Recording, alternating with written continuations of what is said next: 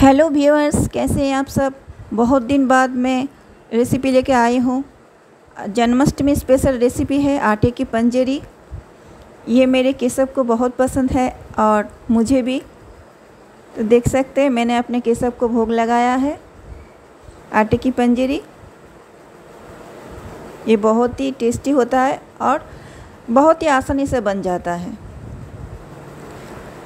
चलिए स्टार्ट करते हैं। इसमें हम मखाना यूज़ करेंगे। मखाना ज़रूर यूज़ करें। पंजीरी में बहुत अच्छा लगता है।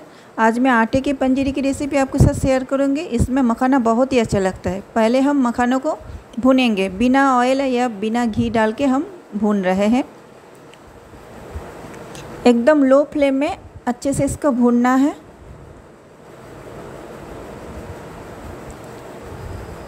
मखाना जो है, एकदम भून चुका है। अब उसको उठा के हम साइड में रखेंगे।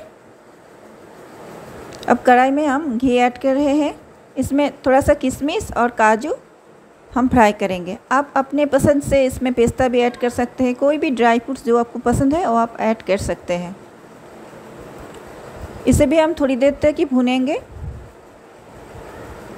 ये भी भून चुका है। इसको भी हम उठा के साइड में रख रहे हैं। और थोड़ा सा घी हम फिर से ऐड कर रहे हैं।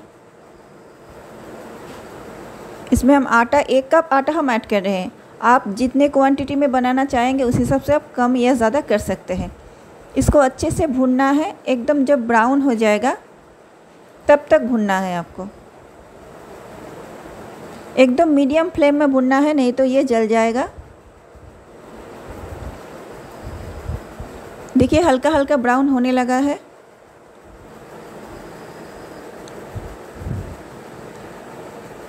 इसमें अब जो हमने मखाना और काजू किशमिश भून के रखा था, वो हम ऐड करेंगे।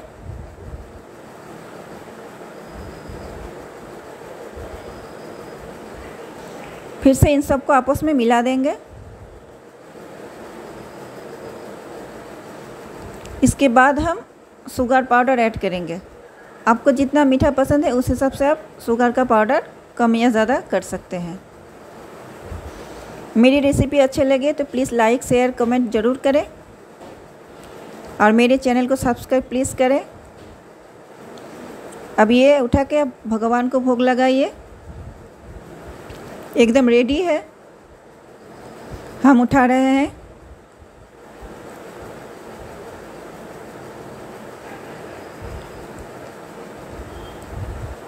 अब इसमें हम एक तुलसी के पत्ता ऐड करेंगे। फिर भगवान को भोग लगाएँगे। हैप्पी जन्माष्टमी फिर से मिलेंगे। Bye bye